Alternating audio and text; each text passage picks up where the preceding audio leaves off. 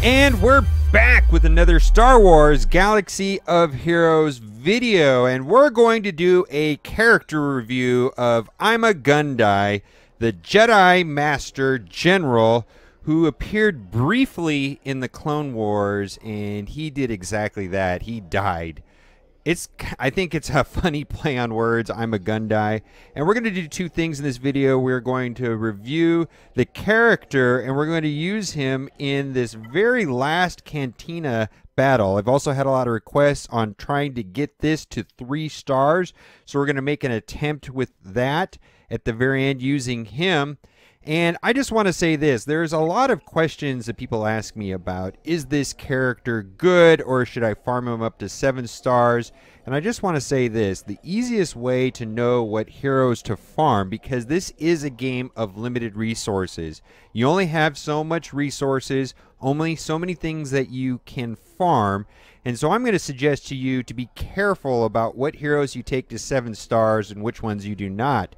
And the easiest way to know if you're a hero that you just pulled out of a data pack and you suddenly you have a brand new four star hero, you're wondering, should I develop a map? Should I get him up to seven stars?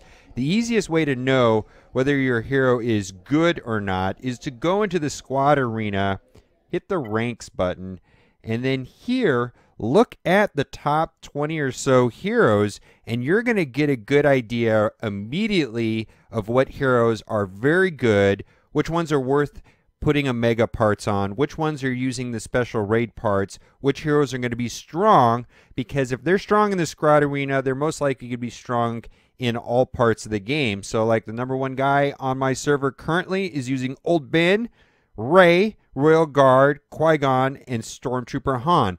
Those are all very good heroes in almost all parts of the game. So let's take a look at Ima Gun Di. We're going to go to a website that will pull his max stats up.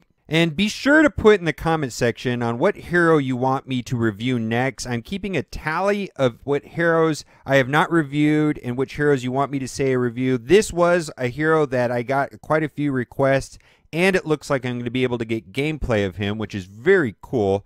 So Ima Gun Di is a supportive tank that boosts ally defense and grants Jedi allies counter chance. His basic attack, called Sunder, deals physical damage to target enemy with a 50% chance to inflict defense down for two turns.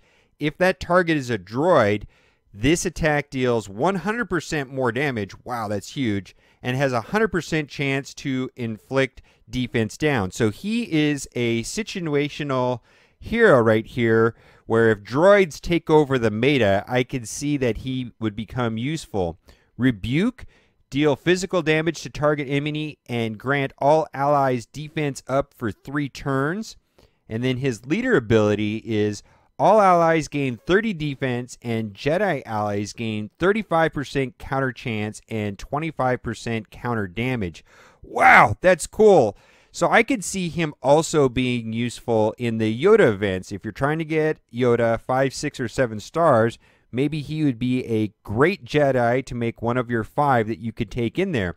Very cool. Last stand, Ima Gun Di recovers 15% of max health for each turn for three turns whenever he suffers a critical hit. Okay, let's go into the very last Cantina battle.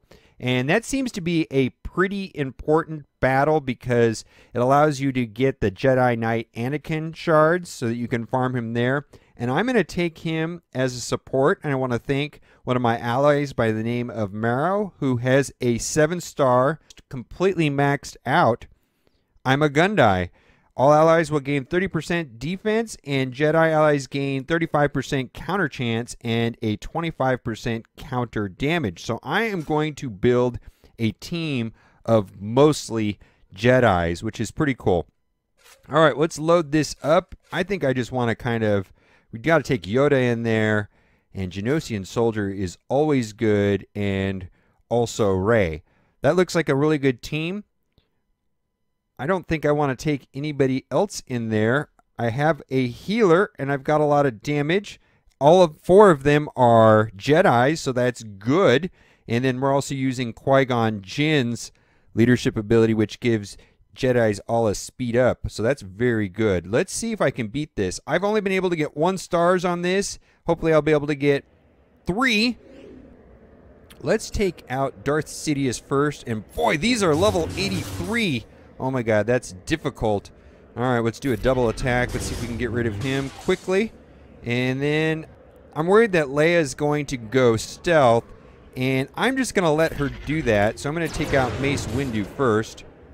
And if she does go stealth, that'd be good because then she won't be attacking. I bet she's going to go stealth right here.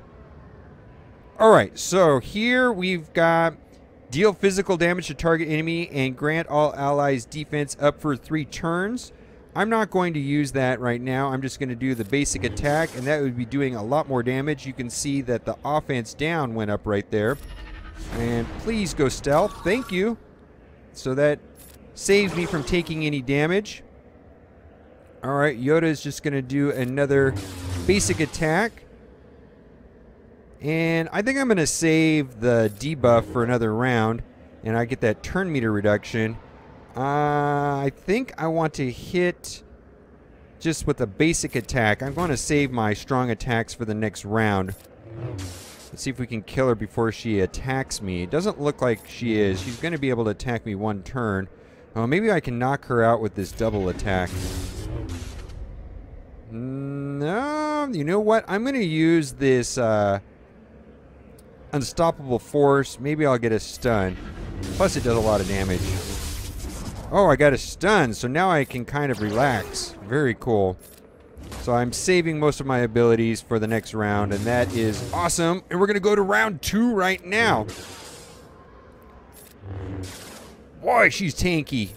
Boy, level 83. Boy. I can't wait for the mods to come out. They're going to come out in the next couple days. I made a bunch of videos about that. All right, so what do we got here? We do have a droid, so I will attack with Ima Gun Di. I will attack him for sure. I think I want to take out Teebo's going to go stealth, so I probably want to save him for later. And why don't we take out Jedi Knight Anakin first? And I want to see how much damage Ima Gun Di does to the droid. Alright, I can do a single swipe and that'll go down there. Uh, let's take out Luke. We'll get Foresight up on Yoda. And let's do some damage to Luke. I wonder if I can take him out right here. Goodbye. Alright, so this should do 100% more damage because he's a droid and 100% chance to inflict defense down. Let's see how that goes. HK-47 is not a real threat. That looked like it was a little bit of damage. I don't know. And I'm going to save Teebo for last because I have a feeling he's going to go stealth anyways. Oh, he didn't go stealth. That's interesting. Well, we'll, we'll keep going. I think I'm going to save um, this uh, battle meditation for the last round to give everybody foresight, which is a fun trick. It's like my favorite thing to do with Yoda. Boy, that guy HK-47 is tanky. Plus, he's going to have a percent chance to come back to life. And I want to keep the foresight up, so I'm going to attack Teebo. Alright, let's get him out of the way right there. Let's do some mega damage. Boy! Alright, so there the defense down triggered, which is very good. We're still looking pretty good on health. This is going well. One more attack. And then he'll probably come back to life. Uh-oh. Oh, I need to heal now. Oh, there was a counterattack right there. Cool. So that was the first time we saw a Jedi do a counterattack. That's pretty cool. Let's keep this uh, foresight going on Yoda. And then when, boy, look at all this health. Boy, he, this HK-47 is beast right here. I think I want to do this right here. While I have, let's see if we get a stun. Oh, it actually finishes him off. Okay, ability block. Let's see if we can get defense down. No. And we want to heal up right here so we can get ready for the last round. I'm not going to chance it. I'm going to use the double attack on the Geonosian Soldier, which is one of my favorite heroes. Definitely one of my favorite free-to-play heroes. Easily farmable. And the Ima Gun Di is also very easy to farm. Wow, look at this. We've got uh, Emperor Palpatine, level 83. I forgot he was in this battle. All right, We definitely want to take out Rey first. I can only imagine how much damage a level 83 Rey does, but I'm sure it's nuts. And she is already dead. And I'm thinking I'm going to have to go after Chewbacca first, but because now I've got the foresight opportunity, I want to do that now. Everybody's going to get foresight and offense up and tenacity, and I think that is a really good thing. And I think I just want to take out Chewbacca because there's always a chance that he will taunt and he is almost dead. And we're going to hit right here. Let's see this right here. Deal physical damage to target enemy and grant all allies defense up for three turns. I want to do that. Let's do that right here. Oh, look at that damage. He did like 10,000 damage right there. That is awesome. All right, we're going to go for Lando next. Oh, and he just fell down on the ground. Emperor Palpatine. Wow, if I get this at three stars, then I will have all of the story mode missions at 100% after this is over, which is very cool. We're going to keep the foresight going on him. Double attack is always awesome. Boy, I'm did so much damage on that attack. Look at that, 9,500 damage. That's pretty strong there with a crit. He also had offense up. And we only saw one time in this battle the counter go. And that's okay. Let's keep this offense up going. Boy, I'm going to get three stars here, it looks like. Very cool. I know a lot of people have been asking me that. All right, so in conclusion, Ima Gun Di might be useful against droids. I don't know. He might be useful in getting a seven star Yoda, but he's not a hero that I'm going to farm. I have so many other heroes that I'd rather be farming right now. But if you are coming up a lot against droids in the squad arena, or if the meta changes to droids, I could see him being very good. Or if you just need a Jedi to fight in the Yoda event, I would also do that. But other than that, I don't know how relevant he is. All right. Right here in the middle of the screen, there is a link to the playlist of all of my Star Wars Galaxy of Heroes videos. Be sure to put down in the comments section. I'm going to be continuing this series of character reviews, and I'm keeping a tally. So put down there a hero that you want me to review. And as always, thanks for watching, and keep on gaming.